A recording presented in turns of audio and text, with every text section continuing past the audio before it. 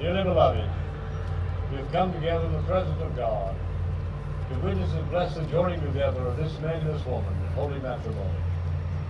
The bond and covenant of marriage was established by God in creation, and our Lord Jesus Christ adorned this matter of life by his present and first miracle at the wedding in Cana of Galilee. It signifies to us the mystery of the union between Christ and his church.